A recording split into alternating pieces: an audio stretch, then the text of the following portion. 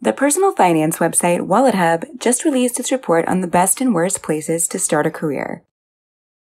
Salt Lake City ranked number one, followed by Orlando, Atlanta, Austin, and Columbia, South Carolina.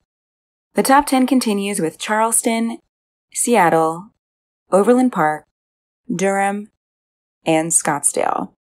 The study was based on 28 metrics. Salt Lake City did well when it comes to entry level jobs and singles viability, but still needs to improve in workplace diversity. Full results can be found at wallethub.com.